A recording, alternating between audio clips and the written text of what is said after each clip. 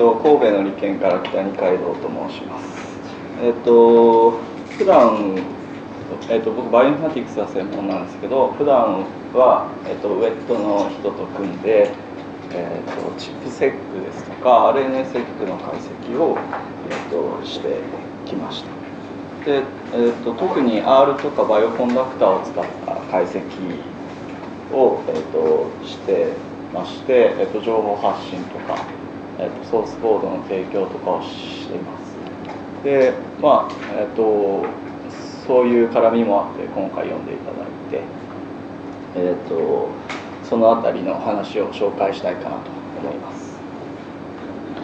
で、えっと、最初に、えっと、言うの忘れそうなんであの最初に言っておくんですけど、えっと、今回あの次世代シーケンサー新型シーケンサーのデータ解析について紹介するんですけどあのご存知の皆さんも多いかと思うんですが、えっと、そそういった次世代シーケンサーのデータを、えーと、どうやって出すかっていうウェットの話ですとかドライの話を、えーと、現場レベルで話し合おうという、えーと、コミュニティをやっておりまして、えー、と年1回の年会と地方であの何度かセミナーをしております。で、えー、と今年3年目なんですけど3年目僕は代表をやっておりまして今年も、えー、と来年の夏ぐらいに、え年会をやろうと興味のある方はあの下の URL にアクセスしていただけると情報が得られると思います。でえー、と宣伝はこのくらいにして今日の、えー、っと講義なんですけどもあのコンピューター環境がちょっとあの実習に向かないということなので今日コンピューター持ち込んでいただいた方ですでに設定済みの人は、えっと、僕の話を聞きながらちょっと一緒に動かすことはえっと、一部できるとは思いますが、えっと、一応こっちであの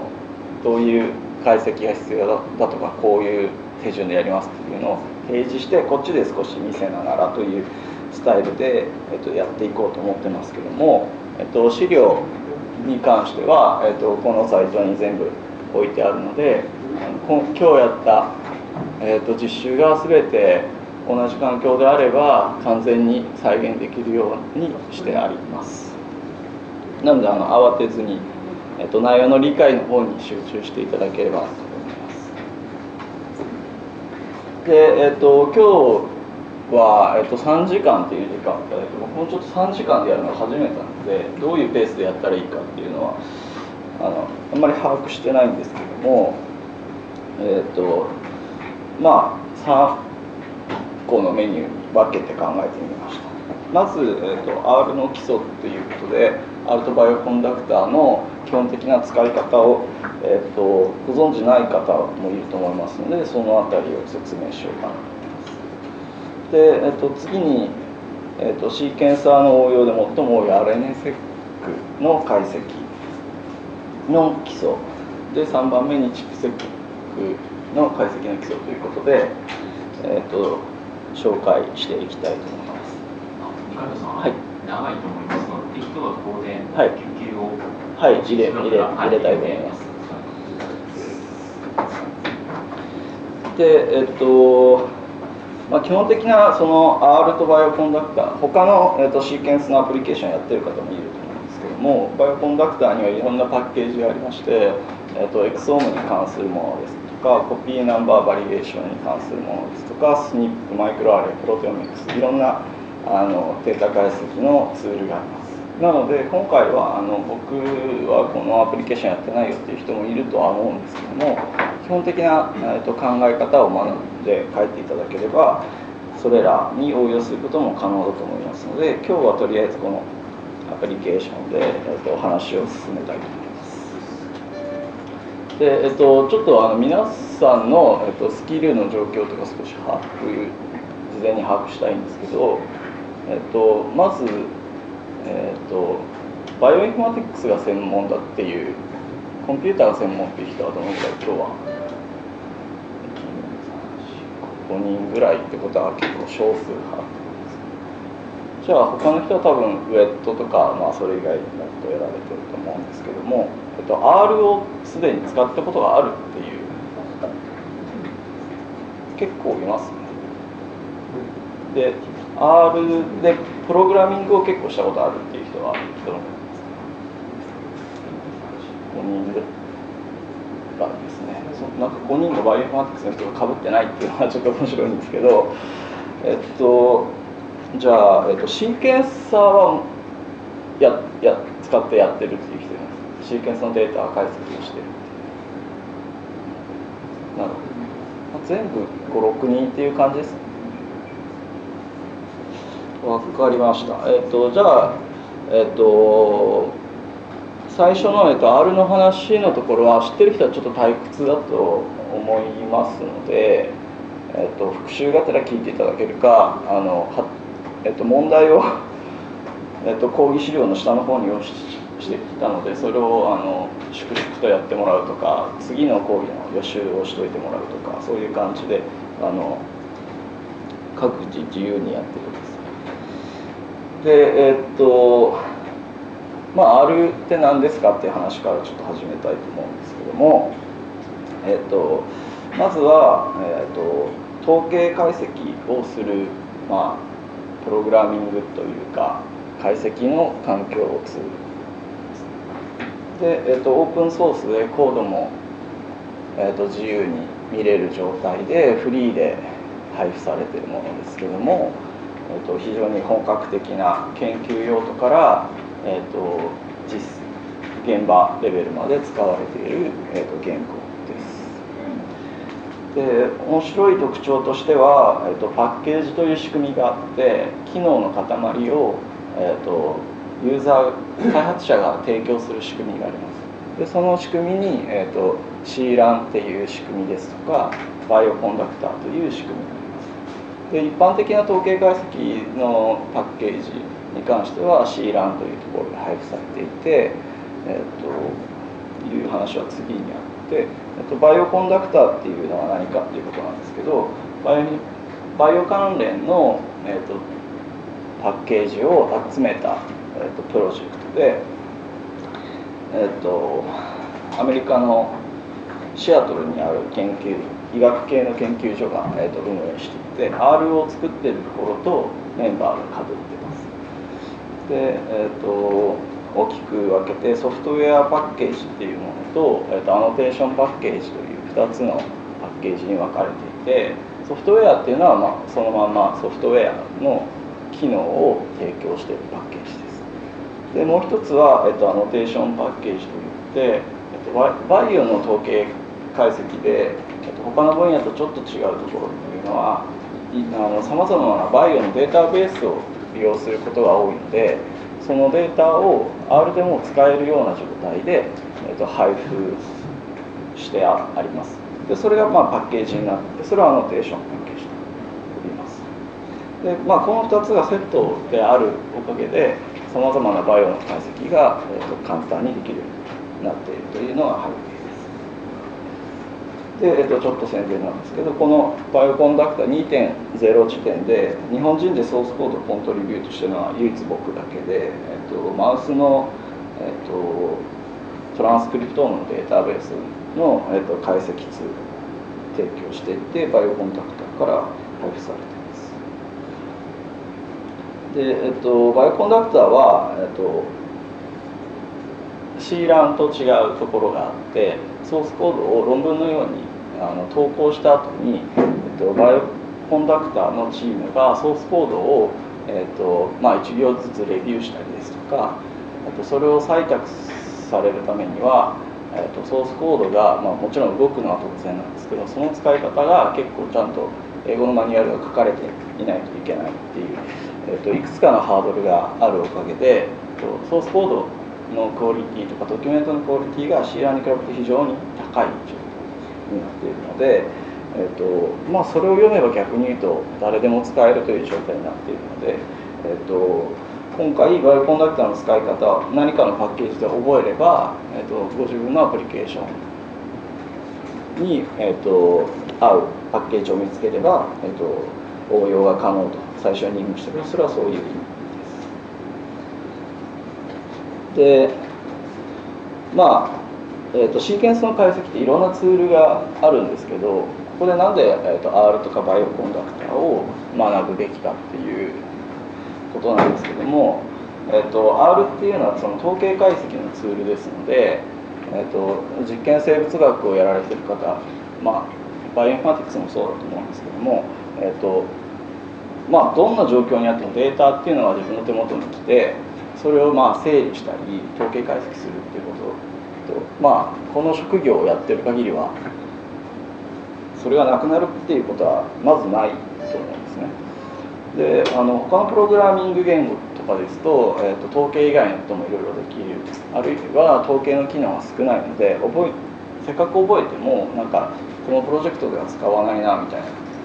感じで数年に1回なんかコード書くってやっぱ上達はしないんですよねだけど R に関しては、えーと、皆さんが普段 Excel でデータ整理されてるようなところも全部 R に置き換えることが可能でえーと、しかもそれはフリーな環境でできますので、まあ、研究者やる限りは一生使える技術になると。そういう意味で、えーと、普段からも使うし覚えて非常にあのレバレッジが効くようなスキルになるんじゃないかなと思いますので、えーと、そういうテンションで臨んでいただけるとやる気が3時間持つんじゃないかと思います。でえっ、と講義の内容なんですけど、えっとまあ、これは R だけに限ったことじゃなくてプログラミング言語を、えっと、覚える上で重要なことっていうのが、えっと、3つぐらいあります。で1つは、えっと、プロプログラミングデータ解析するわけですからそのデータを R にどうやって、えっと、持つのかっていうことを学ぶっていうことが重要です。で、と、そのデータの持ち方を工夫することによって計算が楽になったりですとか、えっと、計算が速くなったりする。でそういう工夫のためにプログラミング言語っていうのはいろんなデータの構造を持ってるので、まあ、それを理解言語それは言語ごとに違うのでそれを理解するっていうのが、えっと、重要です。でプログラムがうまく動かないとかバグのほとんどというのはここで出るのでここを理解するっていうのは大切で、でえっと、2番目が、えっと、構文を理解するっていうことでプログラミング言語は、えっと、言葉なのでその文章を書く上の文法っていうのがあってまあそれは、えっと、基本的に3つぐらいの文法に分けられてそれをまあ覚えその言語ではどうやって書くのかってことを覚えれば。で、えっと、最後に、えっと、重要でこれとても重要なことだと思うんですけどえーと、プログラミングするっていう何か行為をするわけですが目的があるはずで。その目的に必要な、えーと、機能から覚えていくっていうのが結構大切なことだと僕は思っております。で網羅的にその言語を学ぶってことは非常に大変なんですけどもまず自分が、えーと、目的としていることを達成するっていうまあその喜びを繰り返すことで覚えていくので、えー、と必要な機能からまず覚えていけばんじゃないかなと思います。で、えーと、ここまではざっくり1次元目のイントロなんですけどもえっ、ー、と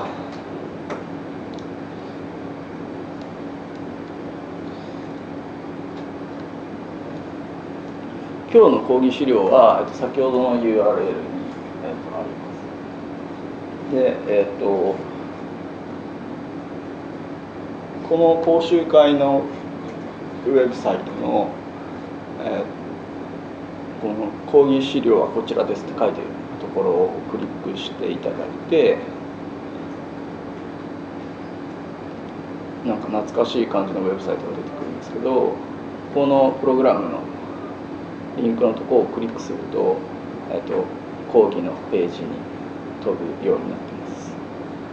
で基本的には、えーと、ここからは、えーと、スライドではなくてこのページに書かれてあることを見ながらそれを実践していくというスタイルで進めたいと思います。で、えーと、まずは、えー、と R の講習ということでなんか収まってないですえーと、ここからスタートしようと思います。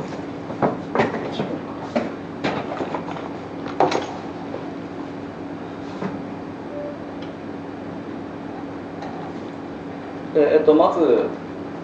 先ほども言いましたけども、対象とするのはまずプログラミング自体をそんなにやる、えっと、聞くの忘れたんですけど R じゃなくプログラミング自体も初めてっていう人はどのぐらいいますか？あんまりいなかったら結構ハイペースでいこうと思うんで。すけど結構いますわかりましたえっとじゃあ、えっと、そういう人も一応対象に講義書を書いたつもりなので、えっと、何かわからないことがあったら途中でどんどん聞いてください。で、えっと、次に、えっと、準備なんですけど、えっと、今回はその R スタジオっていうソフトがあります。で、それをあの使って講義します。で、これは、えっと、R の、えっと、なんかこう見た目をきれいにしたバージョンで、えー、と公式サイトで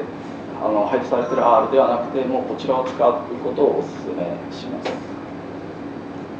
で、えーと、その中に R スタジオというあのソフトで、まあ、こういった見た目のソフト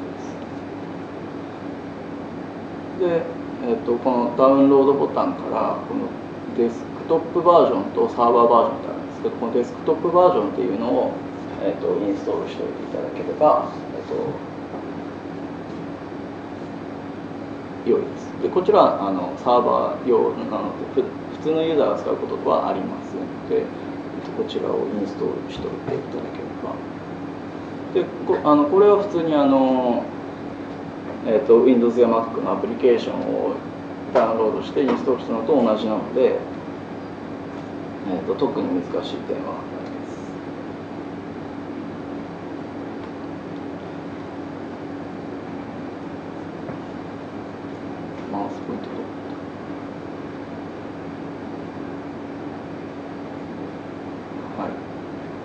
で、えっちょっと面倒くさい話が最初に来るんですけど、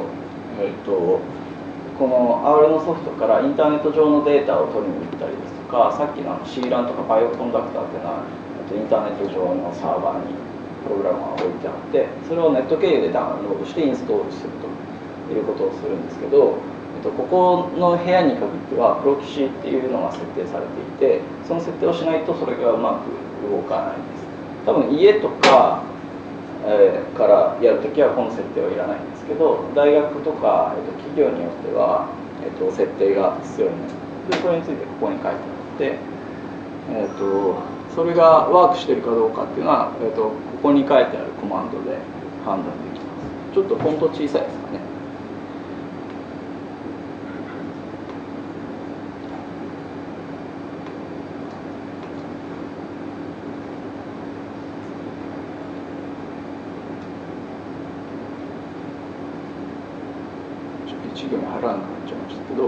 と、こういうコマンドがあるので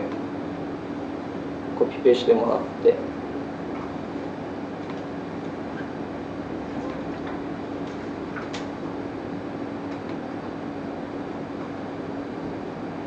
えー、とこれは R スタジオ起動してるんですけどここにコピーしてもらってエンターして何も言われなかったら設定がうまくいってるということですでえっとなんかこうアクションを起こして何も応答しないでこういうふうに終わるっていうのが、えっと、非常に不安に思われる方もいるんですけど基本的にあの Unix とか Linux の、えっと、カルチャーとしてはうまくいったら何も言わないっていうのが、えっと、良いコマンドの作り方とされているので何も言わなかったら大体はうまくいってると思っといてもらって大丈夫だと思います。でこれがうまくいかない場合はちょっと Windows のやり方よくわからないんですが、えーと、Mac とか Linux の場合は、えーと、こういうファイルをなんかテキストエディターとかで作っていただいてその中に、えーと、HTTP アンダーバープロキシの後ろにプロキシのサーバーのアドレスを書いてあげると設定ができます。でここだと、えっと、プロキシ L2 メット東北 ACJP の8080番っていうのを指定すれば、えっと、アクセスが可能です。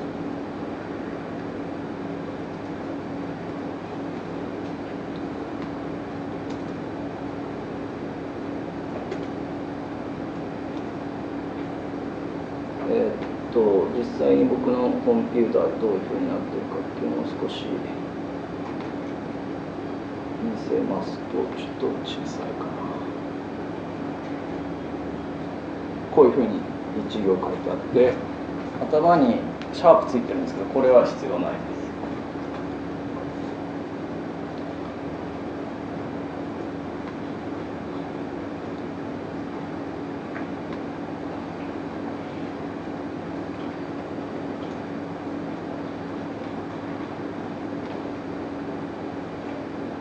こういう状態になってればいい。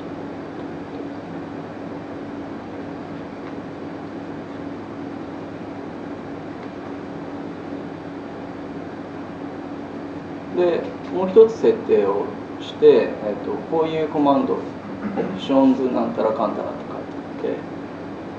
ここにやっぱりさっきの、えーと、プロキシのサーバーとポート番号を書いて今度は、えーと、このこの中に、えー、とオプションズなんたらかんちゃらと書いてエンターしといて。もらえればそれで一応プロキシの設定は終わります。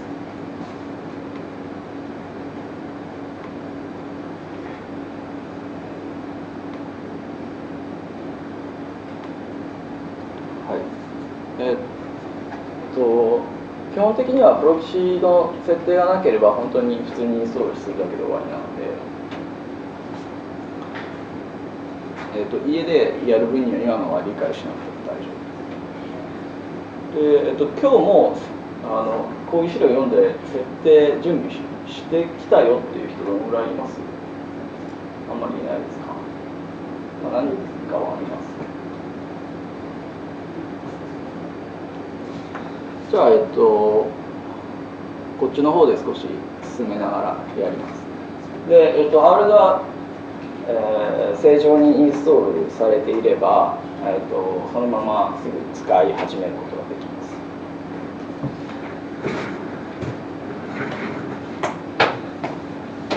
でえー、っと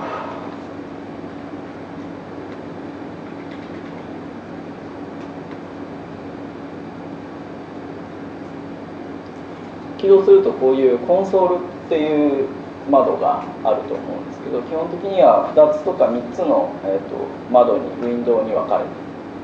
それをペインって呼ぶんですけど3ペインの状態になっていてコンソールっていうところに、えーと命令を与えると R がいろいろ実行されます。でここに書いてあるように例えば普通の演算指則演算で1たす1と書いて、えっと、エンターと押すとその結果が返ってくるということですね。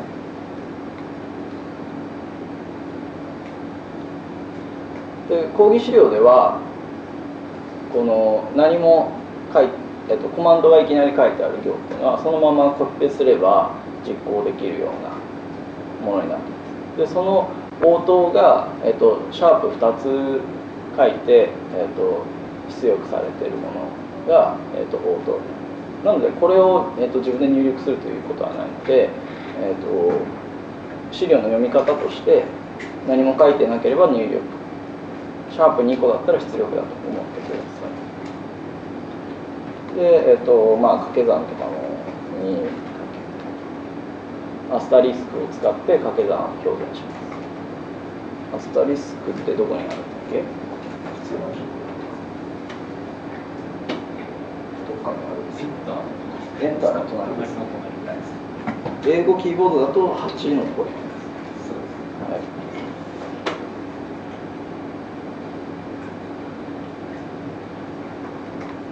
で、えっと、割り算も、まあ、直感に従ってスラッシュを使っていただいて3今ここにスペース入れてるんですけど一応なくてもできるんですけど一応綺麗な R のコードの書き方としては演算子の前後にスペースを入れた方が読みやすいのでそうしましょうという、えっと、ルールがカルチャーがあるんですけどそれを守らなくても一応実行はできで余りを計算するっていう。計算機でよくやるんですけど、えーと、パーセント記号を使うとパーセントちゃうパーセント2個ですね。使うと余るというのが出てきます。あと指数ですね。べき乗2の事乗は4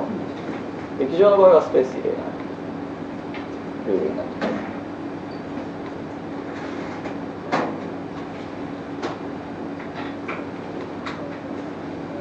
平方根は、えっと、ちょっと今までの書き方が違って、えっと、こういった関数というものを使います。でこれは後で、えっと、関数の紹介をするときにまた説明します。で例えば円周率とかっていうのはすでにあのプログラム言語の方に予約されていて π っていうのを打つとそのままで、えっと、これをどんどんつなげることができて例えば体重57.8の人で体重が1.63メートルの人がいたらあいわゆる BMI とですね。ボディマスインデックス。計算する、まあ、こういったことができてこの四則演算のルールっていうのは数学と同じ順番になっています。べき乗が優先されて、えーと、掛け算割り算優先されて次に足し算引き算っていうのがで、まあ、これが、えーと、普通に動いてるってことは R のインストールがもうできてるっていうことなので、えーと、これ以降のことが全て実行できるはずです。はいで、えっとまあ、ここまでいいと思うので次いきます。で、えーと、イントロのプレゼンでも説明したんですけど学習範囲としてはデータ型とデータ構造っていうのを先に学びます。で、えーと、これは後々次世代シーケンサーの解析とかご自分のアプリケーションの解析の時も結構重要になって R で混乱するとこって大体 R っていうかプログラミング言語で混乱するとこって大体ここなのでここをまず、えーと、ちゃんと理解するっていうのが大事です。でその後に文法、えー、と3つの処理。基本的な処理プログラムが成り立っているのでそれについて紹介します。で3番目に、えーと、簡単な関数をいくつか紹介して、えーと、パッケージの使い方と関数の使い方っていうのを覚えて、えーと、次世代シーケンサーの解析に移りたいと思います。でまずデータ型っていう話をします。でここではそのデータ型っていうのとデータ構造と変数っていう3つについて説明するんですけどまずデータ型について話をしたいと。思いますでデータ型っていうのはそのデータの形式っていうのがいくつか世の中にあってそれを、えーと、決めたものです。で具体的に言うと何かっていうと例えばこれは数字ですとかこれは文字列ですとか、えーと、これは論理型論理型って何かっていうと,、えーと、イエス・オア・ノーみたいな、えー、とトゥルー・フォースみたいなそういうことです。で他にもまだまだ考えようによってはいくらもあってでそれは言語の考え方によっていろいろ違います。で R ではこの数字文字列論理型で他にもいくつかあるんですけど基本的にはまずこの3つを今日紹介します。で、えっと、次の行にえっと X にこう矢印があって C カッコっていうのが書いてあります。でこれをちょっと x に c かでこれは、えーと、x で不等号の、えーと、こうななんていうのかな。小で、えーと、ハイフンで、えー、と c カッコ。カッコ閉じと書いているだけですね今ちょっと上の方に来ましたけど。でこの x の中身に、えー、と塗るっていうのが入ってでこれは何をしたかというと X っていう箱の中箱の中に、えーと、空文字を入れたと。何かそのデータ Excel の表を思い出してもらってデータが欠損してた場合とか、えーと、データここはないですよっていうのを示す時とか、まあ、そういった場合はなんか体っていう型があってそれを指定しています。で関数によってはこれが入ってるせいで計算がうまくいかないだとかこれを取り除くとかそういう作業が必要になるんですけどもそういった殻ということを示すものがあります。でえっとまあ、次に、えーと、データ解析に本当に必要なものの紹介をしていくんですけど、えーと、ちょっとここで、えーと、プレゼンテーションの方に一瞬戻りたいと思います。でこれでそのある、えー、とデータ形式を、えー、といくつか説明してからまた戻りたいと思いますでデータ型としてはさっき言ったように数字ヌメリックがあるであるんですけど1とかマイナス2とか、えー、とそういったものですねいわゆる数学でいう実数が、えーと、相当すると思います。で、えーと、キャラクター、例えば DNA のレですの ATGC みたいな文字列は、えーと、キャラクターというものになります。で例えば数字の1でも文字として扱いたいときは、えー、とヌメリットは同じ1に見えてもコンピューターの中では別々に使います。でロジカルっていうのはゼロフォーカスみたいな形になります。で、えっと、ちょっとあれでそれを見てみると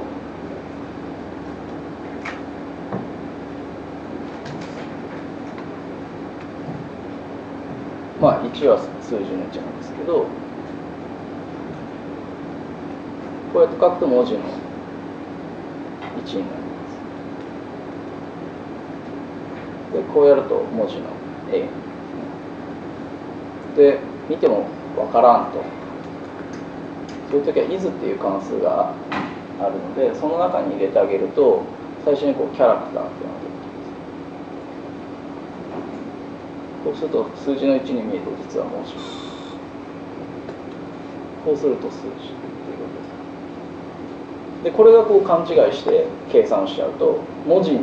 数値計算をし例えば引き算しようとしてもうまくいかないみたいな。そういうことが起きるのでそれだけを気をつければいいということです。でそれがデータ型という話で、えーと、データ解析なのでこのデータが集まってデータになるわけなのでそのデータを一つにこう束ねる必要が出てくるわけですね。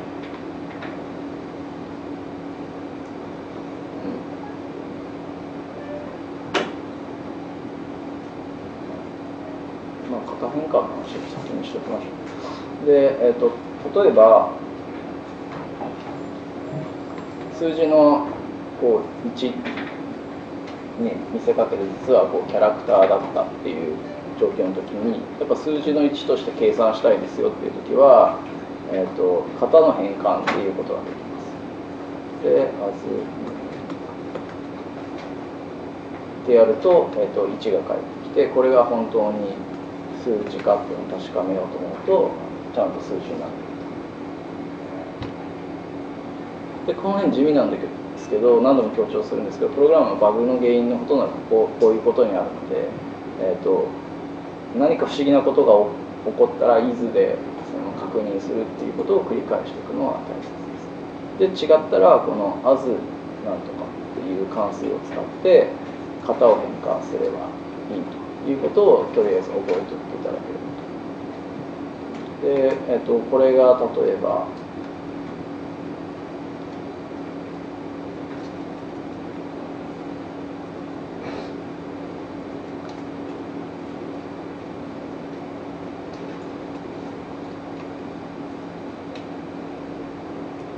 数字の1なんですけどそれをこう文字にするっていうことももちろんできてちょっと下の方で見えないですね。ちゃんと文字に。それ「アズドット」っていうのを覚えておけばあとは型の名前を後ろに入れればいいわけですね。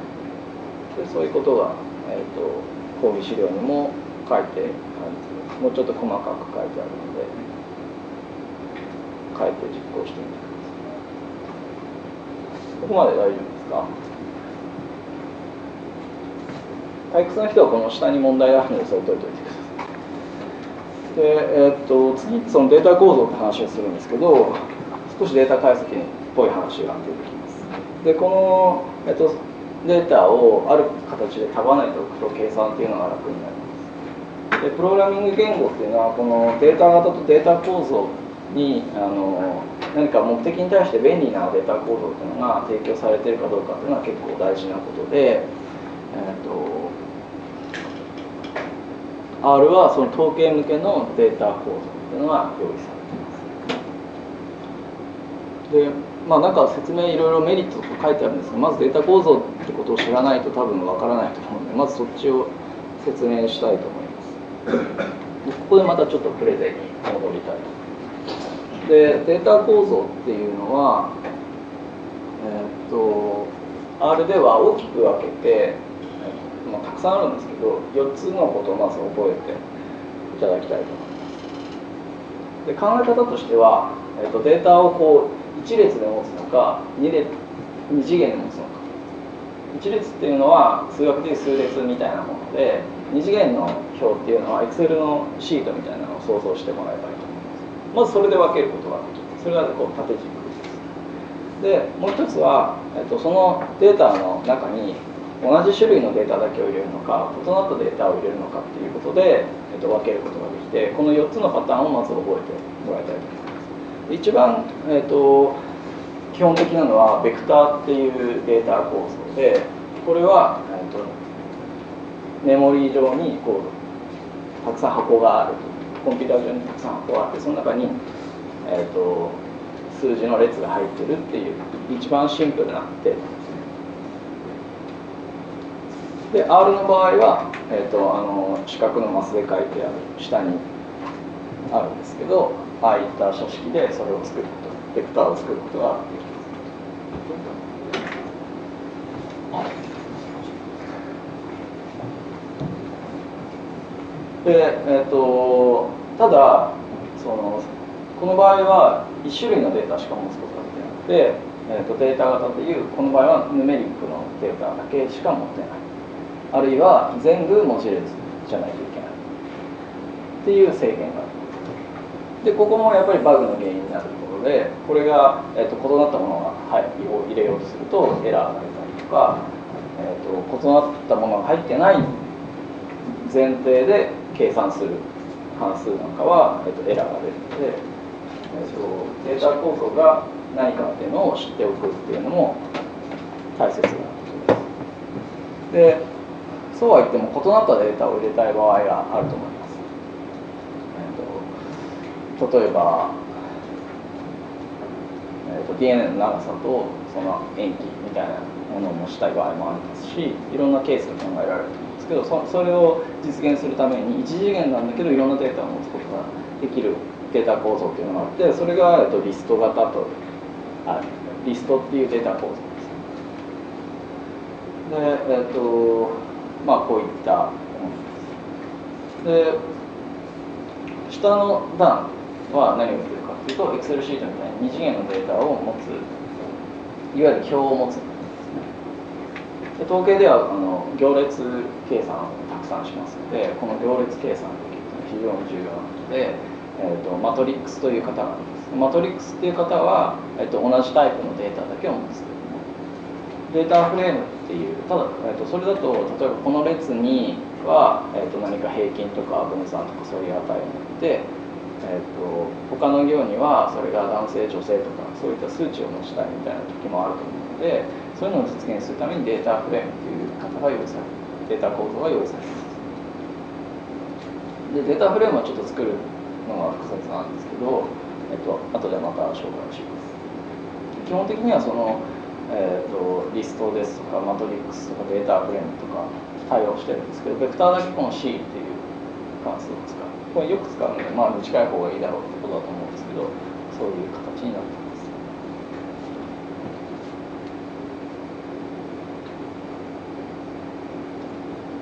でえっと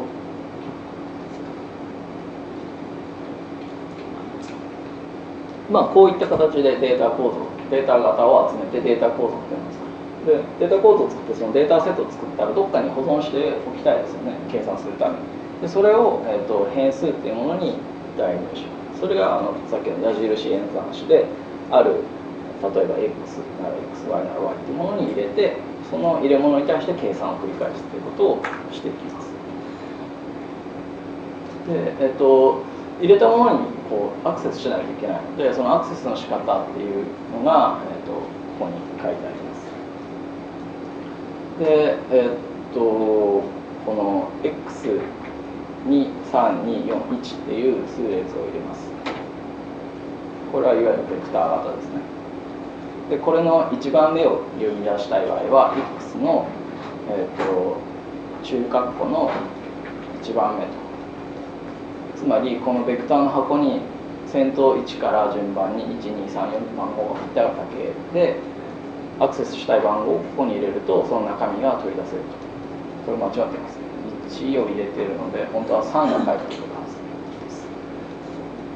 です。でそれでアクセスできる。でこの1だけ入れ替えたい場合は、えっと、逆にこの変数側にこのっていうのを指定してこちら側に代入したいのを入れて代入演算矢印演算子を指定すれば中身をこう入れ替えることができるという形になっています。ちょっとフォント小さくて色薄かったですね。講義資料の方にあの似たようなことが書いてあるのでそれを手元でご覧になられ見えない方はそちらをご覧でこういっぺんに1マス目2マス目を、えーと、変えたいみたいな時はこの、えーと、コロンを使って1から2までをこうこういうベクターに入れ替えなさいっていうことも可能です。でこれは1から4とすればこれ全部を入れ替えるということができます。で、えーと、リスト型に関しては、えーと、こういうリストっていう関数で入れてで1番目にアクセスするには書き括弧じゃない中括弧を二重に重ねた形で代入します。で、えーと、取り出す時はこういう形だし入力する時はこういう感じだし。そこは、えー、と同じですね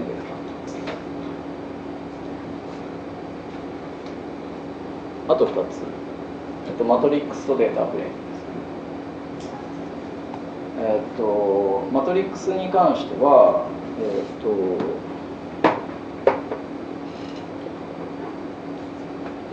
マトリックス関数っていうのを使ってその中にベクター型を入れます。で行数が何何個ですよっていうふうに言います。N ローイコール3ってここには書いてるんですけど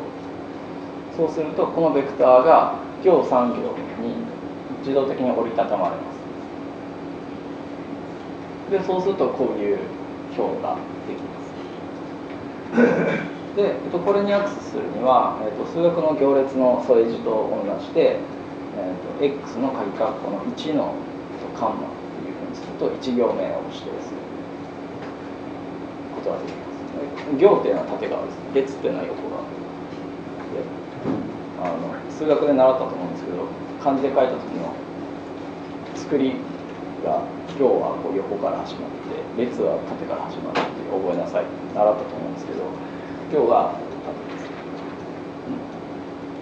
縦でじゃあ横です。なので3241ってこう書いてるんですけど3241っていうのが取れてます。で逆にこのカンマを先に書いて次に2ってこう書いてるんですけどそうすると,、えーと、列が取れる。この列が取れるんですね201 201っていうのは取れます。で1個の要素だけにアクセスしたい場合は32って書くとえっ、ー、と32 3行目2列目にアクセスできるということですね。でそれに代入するにはまた矢印演算して何か代入すればいいっていうだけ。で、えー、と最後にデータフレームの話をします。データフレームっていうのは Excel の表に一番近いものでから列によって自分の好きな型を自由に混ぜることができるんですけどもその列を1個のベクターとして作っておいてそれを組み合わせて作ります。なのでその、えーと、列ごとにデータを作るっていうのを覚えてで Excel のように列に名前を付けることができて、えー、と作り方としてはデータフレームっていう関数を使って、えーと、行の名前ここは自由につけていいんですけども自由につけてイコールでベクターという形をこう並べてあげるとそのデータを作り出すことができます。で、えーと、これを取り出す時は今までとちょっと違うのはこの変数にドルマークをつけてその後ろに列番号っていうのをつけるとその列が自由に取り出すことができます。で代入する場合も、えーと、同じですね。そのドルをつけてそこに新しい、えーと、ベクターを代入してあげればデータに、えー、と情報を入れることができます。ということが、えーと、講義資料の方に延々と書いてありますね。ベクターっていうのは1種類のデータを入れるものです。こういう形ですね。まあ全部はできないのでこれをやってみますけど。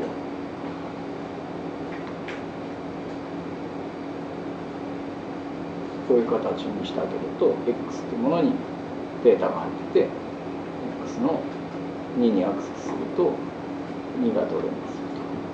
でこの2を例えば14とかに変えると x の2番目が14に変わってるということです。何かベクターに対して順々に計算していって中身を入れ替えるとかそういった時に、えーと、とこの矢印を使う。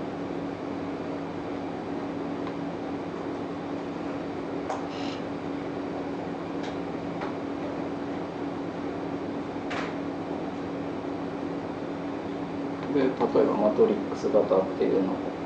作ってみますと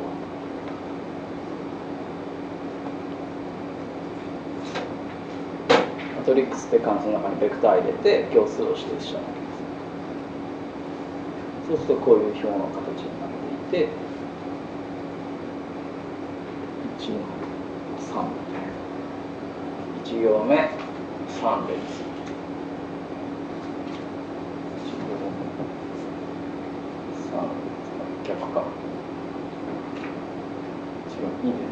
1行目3列が4、はい、でここに線とか入れて Z するとそこが線になってる。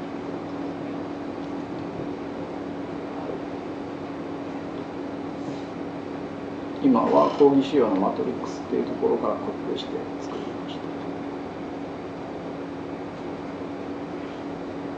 で、えっと、データフレームっていうのはいろんなその型が入ってるので大体つまずくのはこのデータフレーム型で R にそのテキストからデータを実験データを取り込んだ時なんかは基本的にはこのデータフレーム型っていうのがあるのでこれを理解するのが、えっと、非常に重要なことなんですけど、えっと、行の名前書いてそこにベクター型のデータをどんどん入れてるだけです。で例えば D の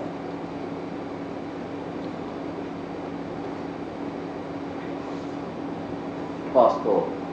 ドットベースっていう今日を取り出そうとするとこういうドルを書いてこうするとその列だけ取り出すことができる。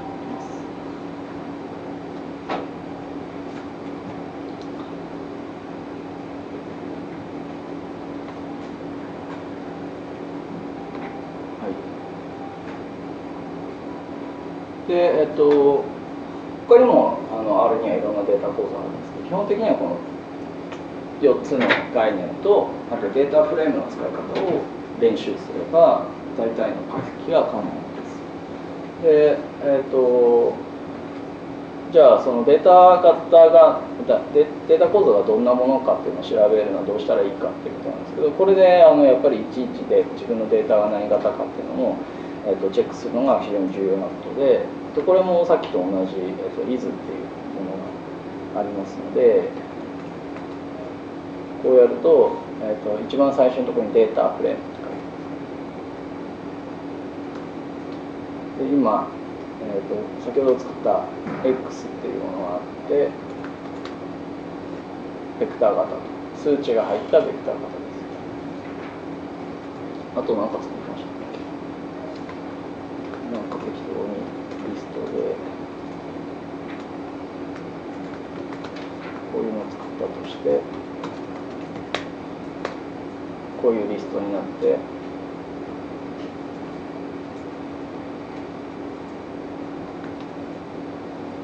こういうものを作ったます。するとリストっていうふうになってます。なのでこの is をのまあこう癖のように使うといいと思います。で、えーと、今の「is」の場合はデータのタイプについて、えーと、表示したわけですけど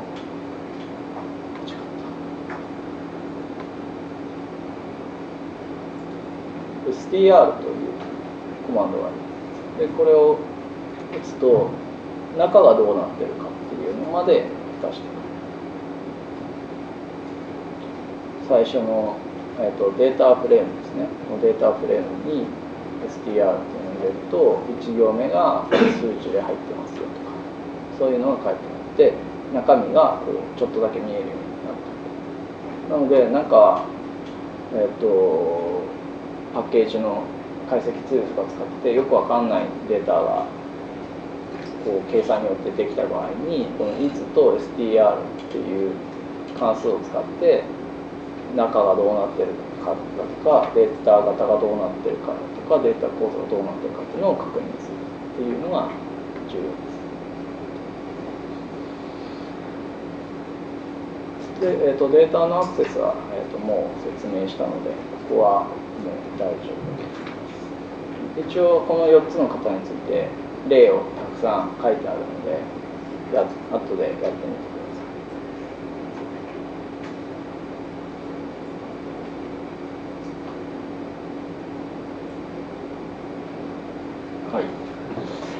こまで大丈夫ですか？大丈夫そうですね。はい。えー、っとでは、えー、っと次あのワークスペースと作業ディレクトリーって話をしたいと思います。これもその R でつまずく、えー、っとポイントとして結構あの有名なところなんですけど、えー、っとこれについて説明したいと思います。今あの R を起動していろいろ入力して、えーと、変数にデータを入れたりだとかいろんなその自分が打った、えーと、命令の履歴っていうのがあると思います。でそれが、えーと、一体どこにあるのかっていう話をして、えー、とそれをまた再利用したりだとか、えー、とするにはどうしたらいいかっていうことを説明します。でこれができないとあのずっと解析した結果をそのまた後で使うことができなくなってしまう。って不安だと思う。でまずこれについて説明します。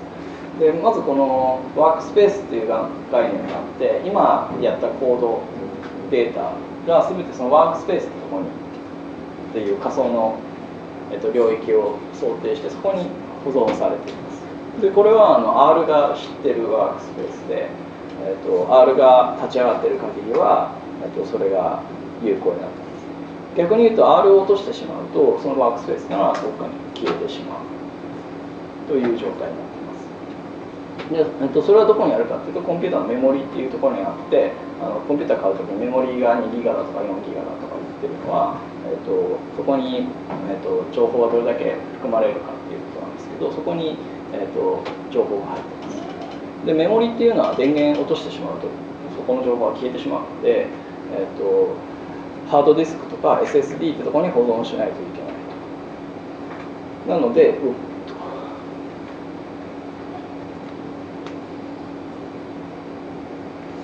でやっぱりパソコン買う時にハードディスク何,、えー、と何十ギガとか何テラとかいうと思うんですけどそこに情報を、えー、と保存しなければならないと思うんですけども、えー、とワークスペースっていうのはそのメモリー上のスペースなので作業ディレクトリーっていうのはそのデータを保存するハードディスクのえーと、実際の場所を指します。でメモリとかハードディスクよく分かんないよって人はなんかちょっと簡単な解説書いてあるのでそこを読んでいただければでまず自分のワークスペースに、えーと、どんなものがあるかっていうのを見ることができるのでまずそれを見てみましょう。また R が登場して。ls っていうあのコマンドを打つとなんか今までやった履歴が出てきてちょ昨日の夜自分で研究してた やつがいろいろ出てきてるんですけど基本的にはさっき言った、えーと、D とか X とか A とかにリストが入ってて、えーと、例えばこれですよね。これがさっき作った、えーと、マトリックスでこれがさっき作ったデータで、えーと、これがベクターなっていうのがまあなんか入ってます。つまり変数のリストを表示してるコマンドです。それが LS と。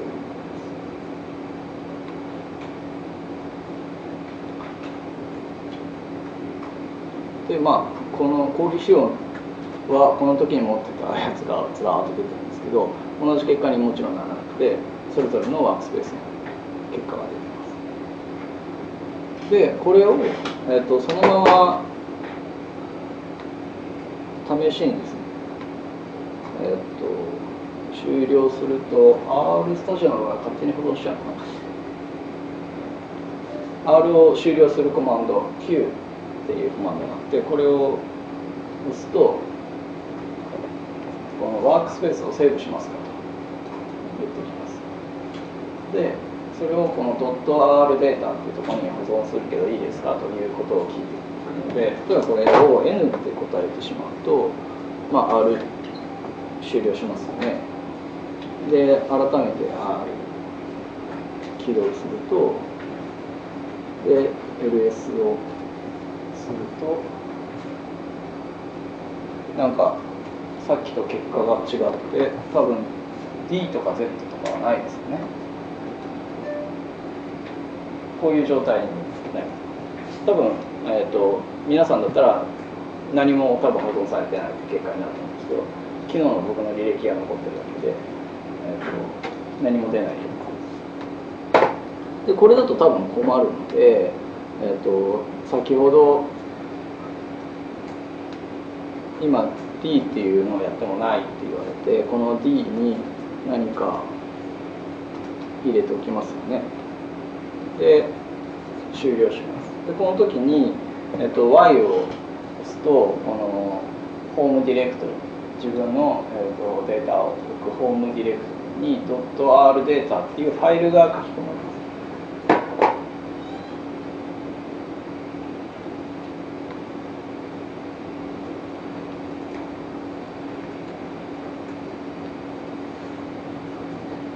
なんかあの、えーと、エクスプローラーとかマークファインダーとかで見てもらってもドットがついてるので見えないと思うんですけど、えーと、こういうファイルができてて今もう10時なんですね。もう10時間経ったそこにこういうファイルができてこのくらいのファイルサイズのものができてます。ここにさっきのワークスペースが全部保存されてます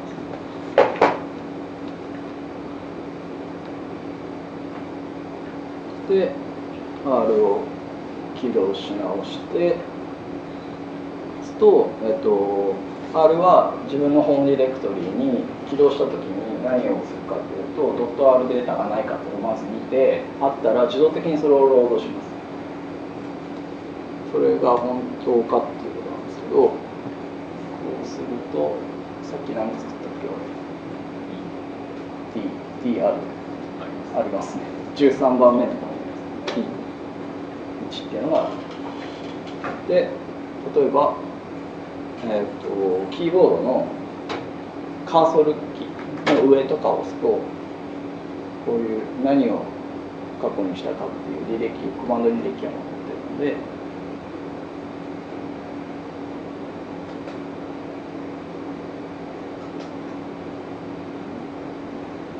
自分がこう何をしてきたかとかそういうのも全部、保存されてしまう保存してくれます。でこれが、えーと、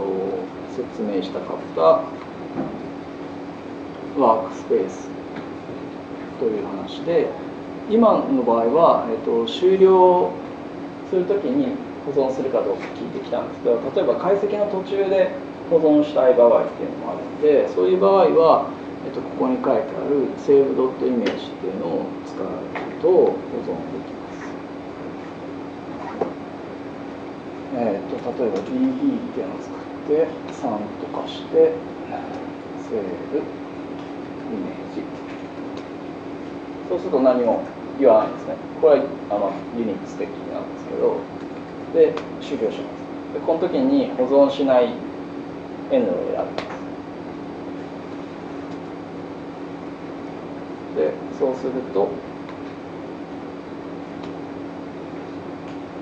さっきは3分経ってますけどファイルが何か書き換わってますねさっきと。ちょっとファイルサイズも変わってますね。で R を起動しま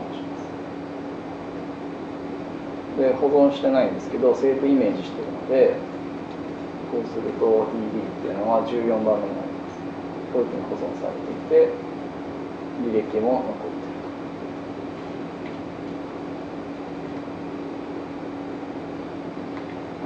てるでワークスペースっていうのはそういうメモリ上の履歴とかデータを指してそれをハードディスクに保存して終了しなさいという話でした。でじゃあそのファイルがどこに保存されるんだっていうことなんですけどもこれは、えっと、分かりにくくなる原因で前解析したやつがないよみたいな。ことが起きます。で、えっと、それがその作業ディレクトリーっていう考え方でコマンドを2個だけ覚えてもらいたいと思います。それが、えっと、get work directory wd というコマンドでこの中で get でするとちょっと小さなユーザーズイトシって。ディレクトリがあるんですけど Mac でいういわゆるホームディレクトリですね。Windows の場合はどうなのかな？マインドキュメントになるのかな？ちょっとよくわからないんですけど、えっと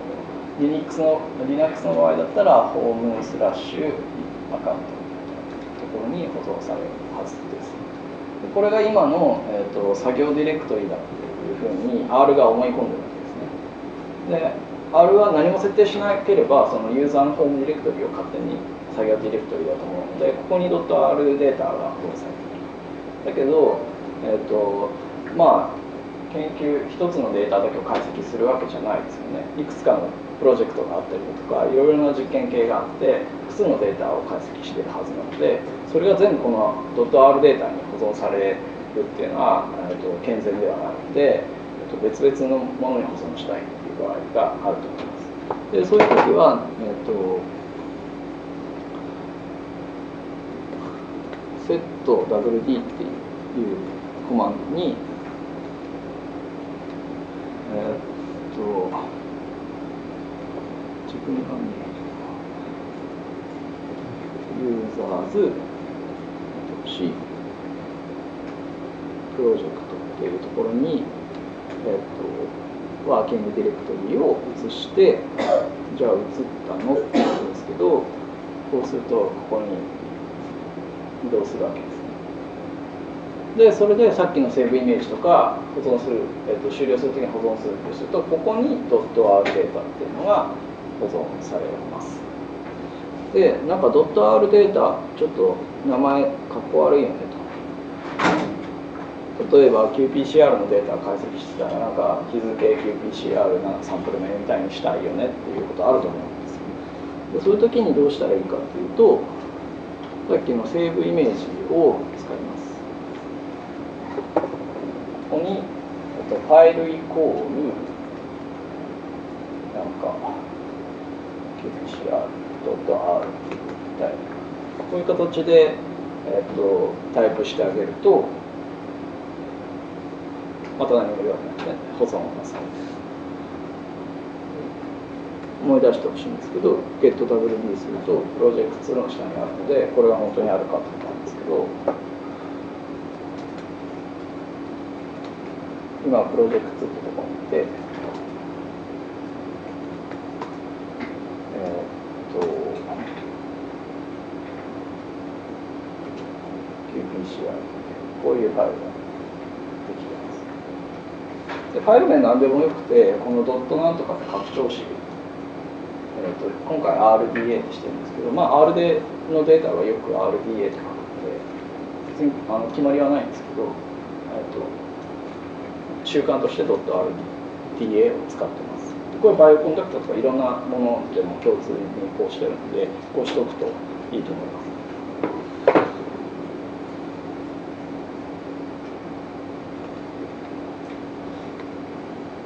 でここで多分 R で一番こ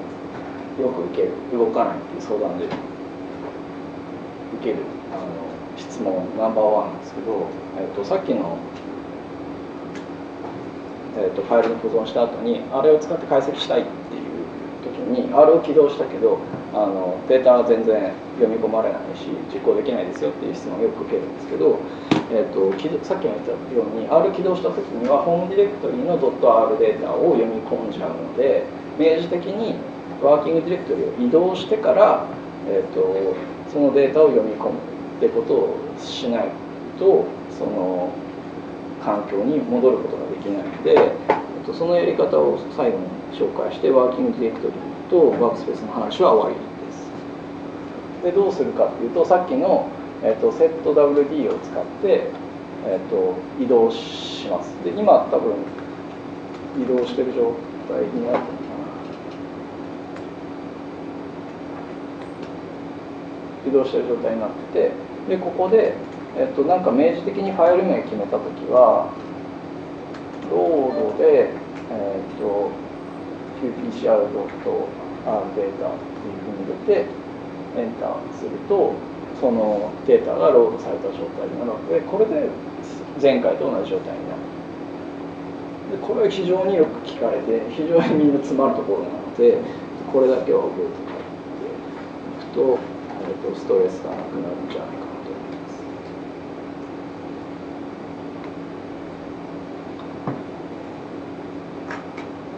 はい、ということが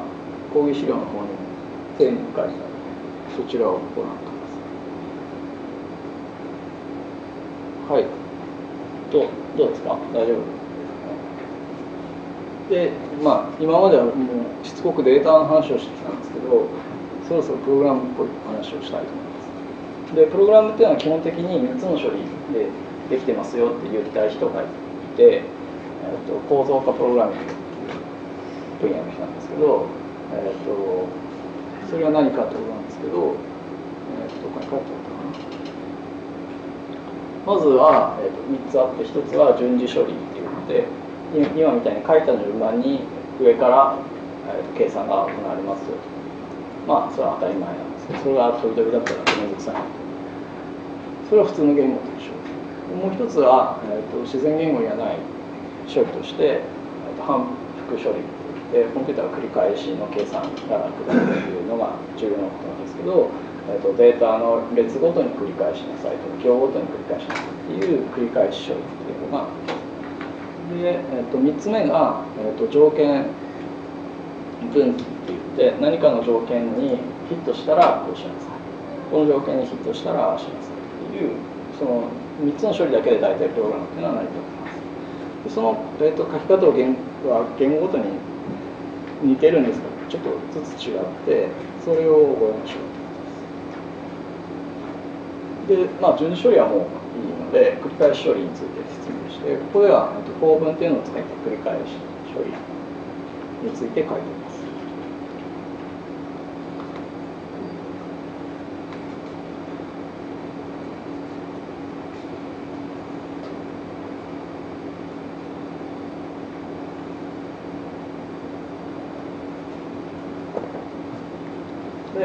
体もうここの辺とか読めるようになってきたんですけど、えーと、ANS っていう ANS っていう変数を用意します。でそこに0っていうのを代入してでこれが、えーと、をまた最後に表示してでこの中で何か繰り返しをしてるんですけどこの構文っていうのを使ってなんか1から10まで何かしてる。でこの1から10っていうのはこの i っていうものに代入されてこれが1から10まで来る部分もあります。でまあここで何をしてるかっていうとこのアンスっていうものに1から10を足して自分に代入し直してます。なので最初は、えーと、こいつは0ですよね。で1周目はこいつは i, i は1になって0を出す。1なので1で2周目になると,、えーと i は2になってここは、えーと、今1の状態ですね。だから2たす、えーと、1で3と、まあ、要は1から10まで全部足してるっていうだけの話ですよね。っていうふうにこれが繰り返しで1から10まで足す55なのでそうなります。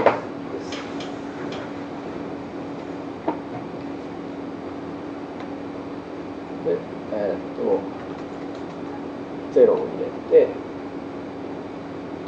こうで R の E の1から10。で、代入します。間違ってるね。ちょっと面倒くさいから1行さっきのなんか複数行で書いてたけど1行で書いても一緒です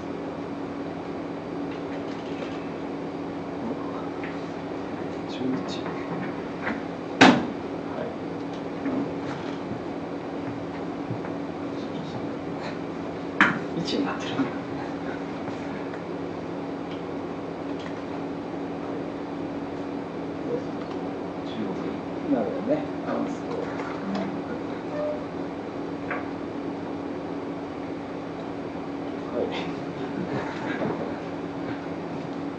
いっと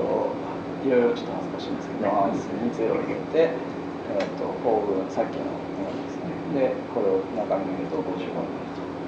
ということですこれが繰り返し処理ですでこれをあのさっきのデータフレームとか、えっとマトリックスにやろうとするとマトリックスの添え字をこうここにつけておいて1列ずつ入れたりとか1行ずつ入れたりとかそういうのができる。そこはまあ応用です。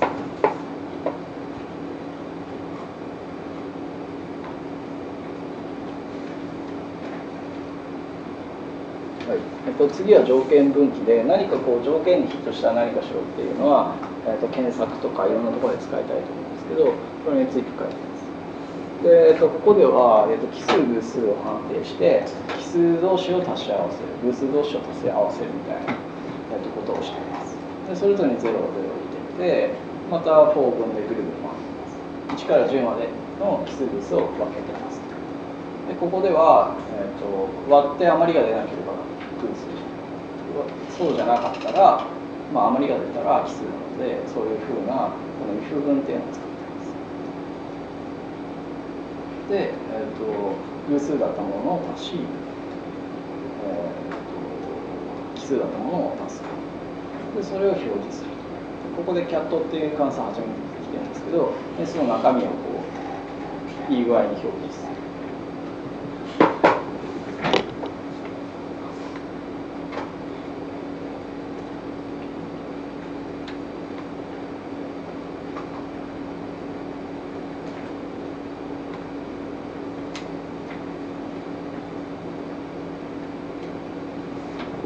まあちょっと打って間違えると恥ずかしいので確定しましたけど、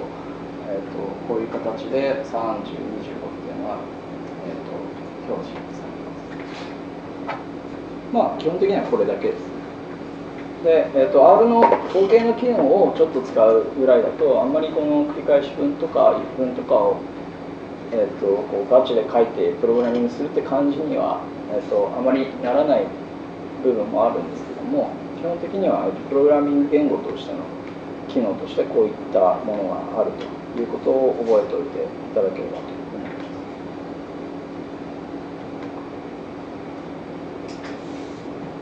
す。で、えっと、あと関数の話をしてパッケージの使い方を説明して R の話は終わります。で、えっと、関数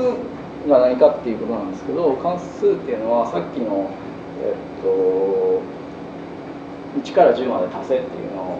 はまあなんかそういう足すっていう機能があればその方が楽じゃないですか。でそういうふうになんか便利な機能を人まとめにして提供することを、え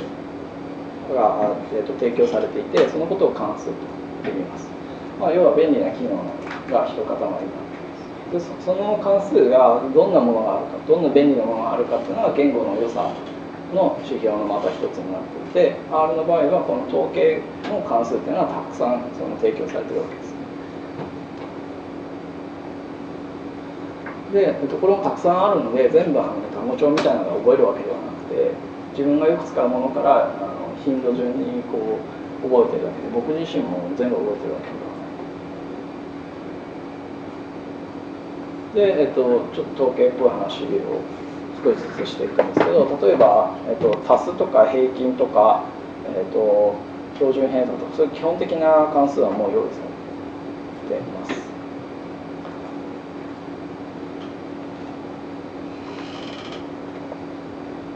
ちょっと上いきます。で例えば1から100までの数字を作ってあげてまあさっきのお金合いでいくと10の方がいいと。でこれを足すっていう関数サムっていう関数があるので55 Excel 使ったことある人は Excel の関数を思い出しておいてもらえるんです。それと同じです。で例えば平均。SB 分散はバーとかまあこういった関数がいろいろあってこういうのを覚えておけばいろいろなことができますよということです。で、えっと、この例えば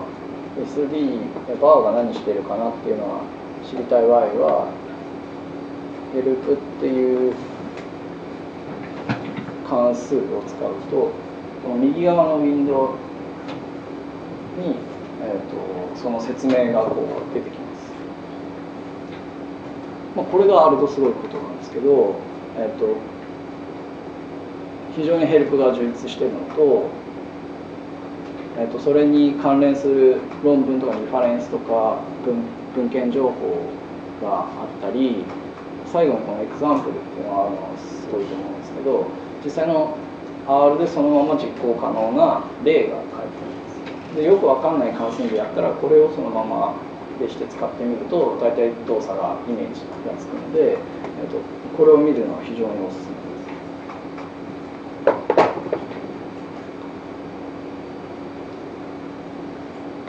はい。関数で覚えないといけないところっていうのはこの、えっと、必要な関数を Google とか本とかで調べてヘルプを使って何か使い方を覚えましょうっていうことですね。で、えっと、関数でもう一個だけ話があって、えー、関数をその提供されてるものだけど自分で作ることもできます。で、なんかよく使うような機能を自分で関数にしておくといろんなプログラムで使えるわけです。でそれを毎回書くってことは、まあ、手間ですし時間もったいないし書くたびにこう失敗してこれは動くけどこれは動かなくなっちゃうと思うんですけど一回しっかりしたコードを書いておけば、えーと、どこでも失敗が起きないっていう意味でこの関数を作るっていうのは非常にあの重要なことです。でここにちょっと例を出してるんですけど、えーと、関数を作るにはそのままのファンクションという関数があります。で、えっ、ー、と、ちょっと見えてないんだけど、さっきの法文とか F 文と同じように、この、えっ、ー、と、なんだっけ、大括弧で囲ってる部分がこの関数になります。で、その中に何かいろいろ書いてあって、で、この関数は、コンプリメントって名前を付けましたと。まあ、ここをただ代入してる。関数っていう名前の関数で何かの変数に入れたと。なのでこれからはここの一塊の機能がこのコンプリメントって名前で使えますよとで。具体的に言うとこのコンプリメントっていう関数に何かを入れると処理が行われています。でこの何かを入れるっていうこの関数何か受け取ってます。でこの受け取った部分っていうのはこの塊では X として扱われて今後この中身では x っていうのはここで与えられたものになりますこれを引数っていうんですけど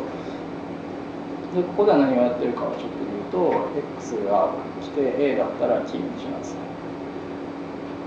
で a じゃなくて、えー、と t だった場合は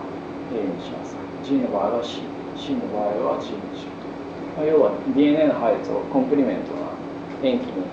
変えてるだけなんですけどそういった変数を作って A ってやるとまあ、P が返ってくるわけです。で、ここに G って入れると、えっ、ー、と、これでもない、これでもない、これでヒットして C と表示されるという関数です。で少しまあ R を使いこなせるようになったらこういった関数自分のオリジナルの関数っていうのを作って持っておくと便利です。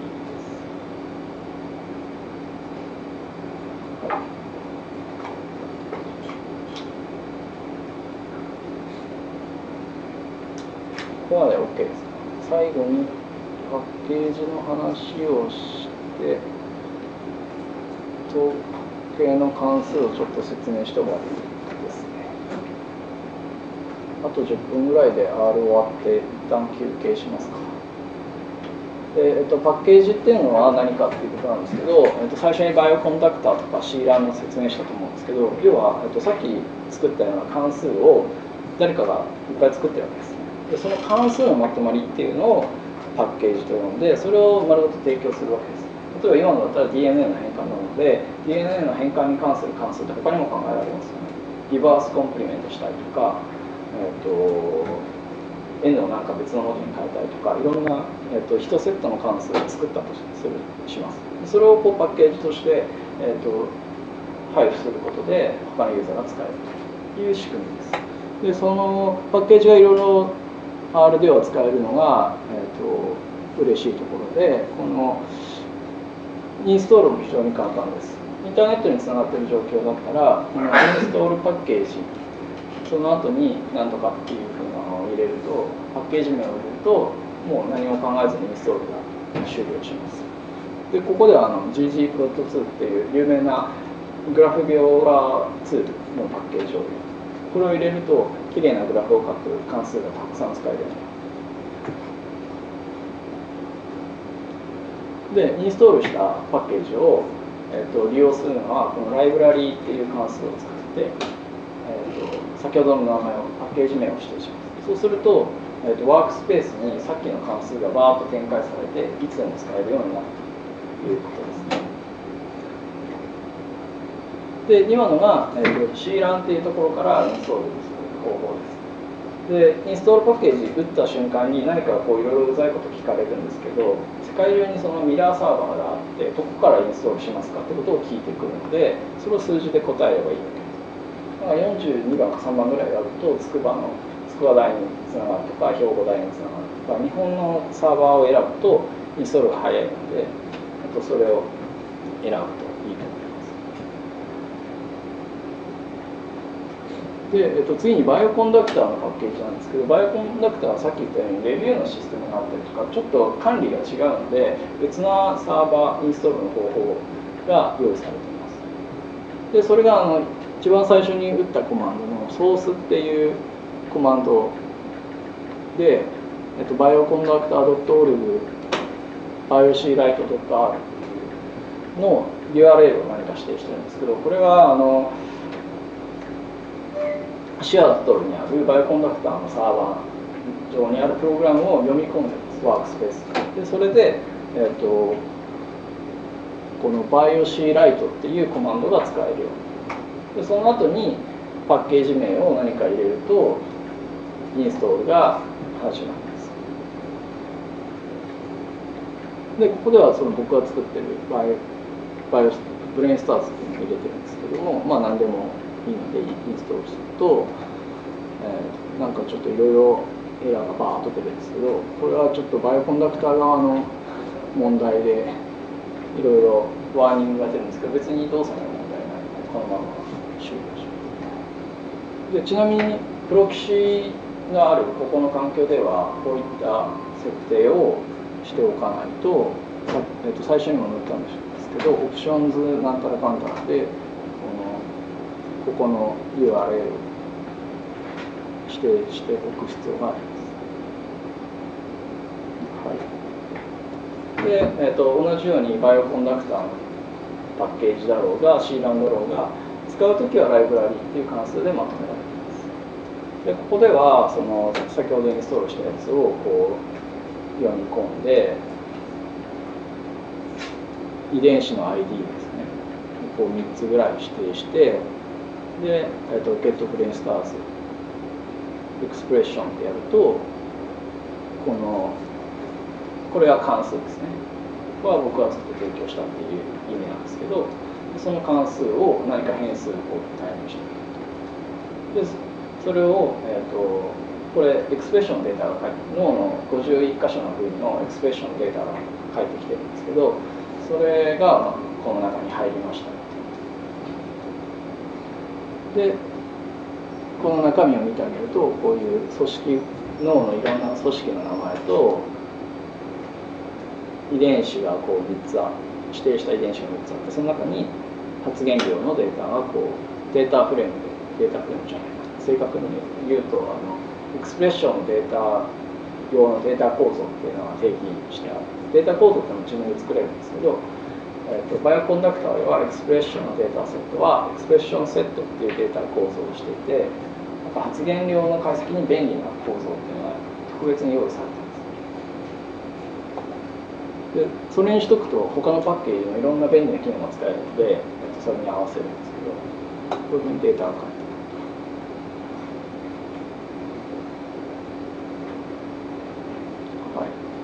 まとめると,、えーと、パッケージを使うっていうのは非常に簡単で、えーと、インストールパッケージあるいは BioC ライトっていうのを読み込んでパッケージ名を指定してインストールします。でライブラリーっていう関数を使えばいい。でパッケージのドキュメントはそれぞれについてるのでどんな関数が提供されてるかっていうのはそのドキュメントを見て使い方を覚えて使えるで、えーと、次の講義ではそれを RNSEC とか、えーと、チップセックでどうなるかっていう話をします。でちょっと時間もあれだしチップセックはあんまりやってる人いなそうなのでもしかしたら RNSEC だけになるかもしれないですけど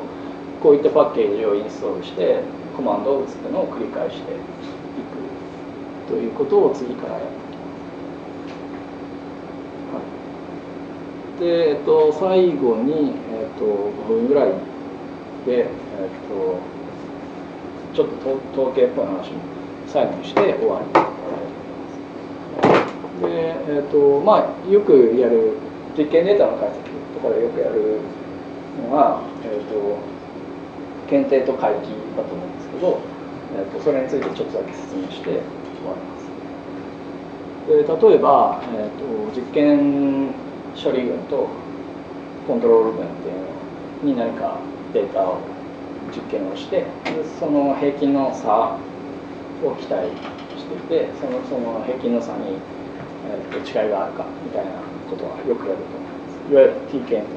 とか、えーと、ノンパロだとウィルコクソンテストとかそういったものですけども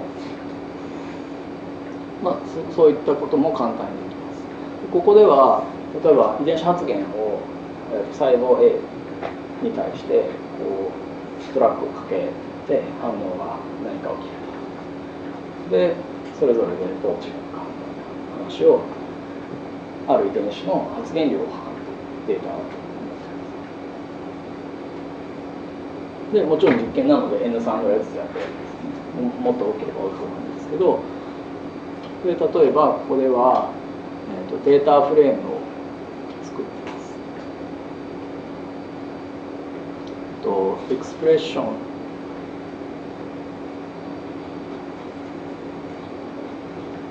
えっと、 exp って書いてあるのが実験群で cont って書いてあるのが、えっと、コントロール群でで expression っていう、えっと、名前の列に実際のデータがこう3つ並んでいます。で実験群かどうかっていうのはサンプルっていう列に入ってます。エクセルの表を想像するとサンプルエクスプレッションという列がこうあるっていうデータです。でそれがまあ本当かっていう見て。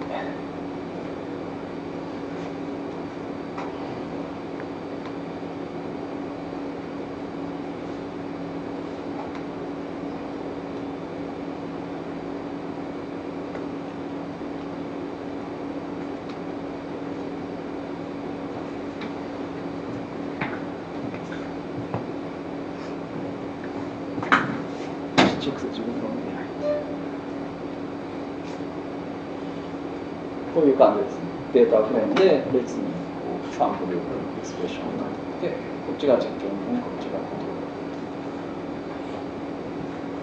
ロールであの Excel だとよくこれをこ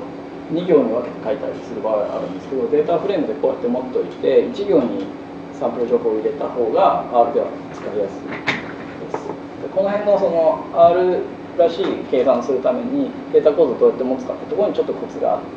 R うまく使えるかっていうのはそういうところと関係してます。で、えー、っとここの行ですね。t テス t ドットテストっていうのは t 検定をする、えー、っと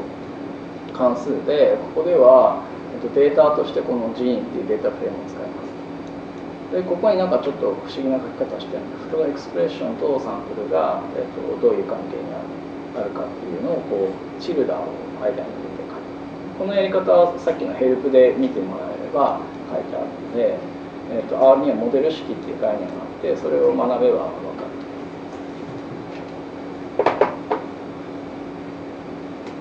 で打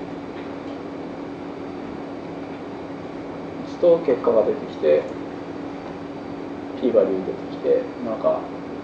有意そうだなみたいなことですね。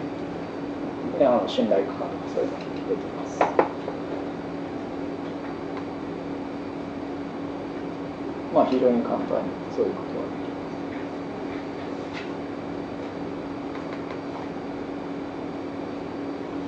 す。で、えー、っともちろんあの数字で優位になったからといって安心せずに必ずローデータのプロットをする必要があって本当に差があるかっていうのを目視する必要がありますでここでは、えっと、プロットっていう関数を使ってさっきのモデル式をここに書いて中身一緒ですよね。さっきの t 検関数が違うだけでプロットっていうのを使うとこういうふうに、えっと、エクスプレッションとコントロールっていうのが分かれてプロットされるでさっきあの2列にするんじゃなくて1列にした方がいいって言ったのはこういった書き方で、えーと、勝手にこう2つに分けてくれるので関数があああいう持ち方をした方がいいっていうことです。で、えっ、ー、と、最後に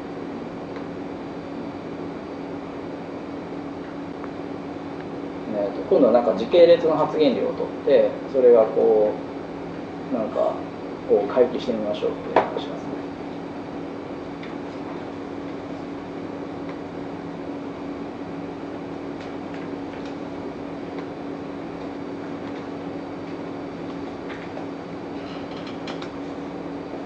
こういう0日目から5日目までにこう細胞を分化させて発現量を見たみたいなそういうシチュエーション。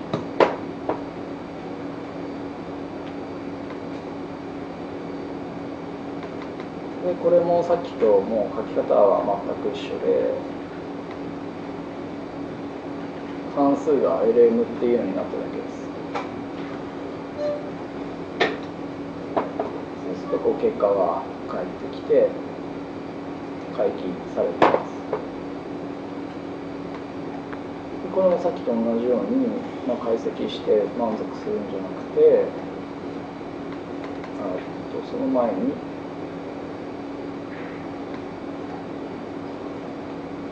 解析結果のサマリーをこういう形でサマリーっていう関数で見ることができて、えっと、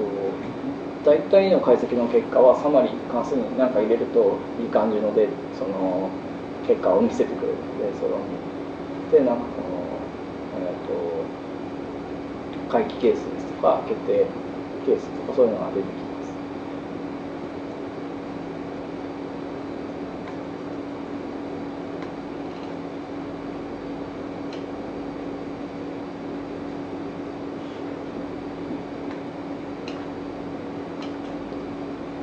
ちろんそのプロットをして確認するっていうのは大事で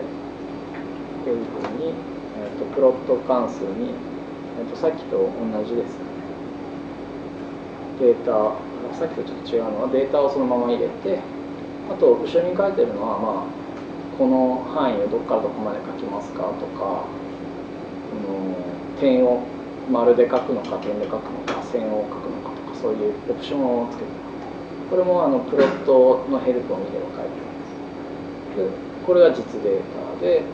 この AB ラインっていうのは先ほどの回帰の結果を青で書きなさいと上に重ねて書いてま、あ、こういうのは簡単に可能だということです。これでその R のいろんな、えーと、統計解析の便利な、えーと、機能を、えーと、使うことができます。で、えー、と今話した話っていうのはプログラミング言語っていうのはデータ変数にデータを入れるんですけど型とデータ構造があります。でそれが違うと関数がうまく動かないことがあるのでそれを確認しましょう。でそれを使っていろんな処理があってそれは3つありました。でその3つの処理をやるんですけど便利な機能っていうのは関数っていう形にまとまっていてパッケージという形でより大きなまとまりで提供されている。でもちろん統計解析のツールなのでこういった便利な関数がたくさんもともとビルドインされていてそれが、えっと、解析からプロットまで利用できますで R でプロットしてみれば分かるんですけどいろんな論文のプロットに見たことあるなっていうのが出てくると思います。だから世の中の論文のいろんなデータは R でプロットされてることが結構最近は増えてるのでああこの論文も R 使ってるんだなってなれなれると分かると思うんですけどもえっ、ー、とあの論文クオリティの解析にももちろん使っています。で最後に何を学べばいいかっていう今後何を学べばいいかってことをいくつか紹介して終わるんですけど、えーと、まず実験データを R に取り込むって話今回してないんですけどリードテーブルとか CSV とか、えーと、ライトテーブルとかで入出力が可能です。これもヘルプ見てやってみれば、えーと良いかなとで今回はデータ型をかなりシンプルに説明したんですけど他にファクター型って非常に重要な型があったりですとかいくつかの重要な型が他にもあるのでそれを理解するといいと。思いますで繰り返し処理に関して R らしく書く方法が他にもいくつかあってアプライっていう関数があります。これを使った方が、えーと、R らしい書き方シンプルなコーディングがで他にあの例えば足し算さっきループで回したものとサムっていう関数で回した計算した2種類のやり方を示したんですけど、えーと、サムっていうのは繰り返しを一見してないように見えるとあれはベクトル計算といってベクトルをあの繰り返しなく計算するっていうことを R は裏でやっていてその方が、えーと、高速なんですね。でそういう一見繰り返しで書かないといけないかなって思うところも関数を使うと非常に速いベクトル計算を行れるのでそういった形で書くっていうのは多分、えーと、中級者になると思います。で最後は、えーと、自分のデータにあったバイオコンダクターとかシーラーのパッケージを取ってきて自分の解析をするっていうのが、えーと、大切なことで。まあその例として今回は RNSEC とチップセック時間があればチップセックの話をして、えーとよりあの実践的な内容にいきたいと思います。で、えっと、最後に練習問題を用意しておいたので興味ある方はやってもらって分からなかったら質問してメールとかで質問してもらえればと思います。でとりあえず R とバイオコンダクターのところはこれで以上です。けど何か全体通して質問があれば。今からちょっと休憩入りますけど休憩中でも何かあれば。じゃあ分ぐらい。はい、そうですね。今40分ぐらいなので、はい、10分ぐらいからまた。はい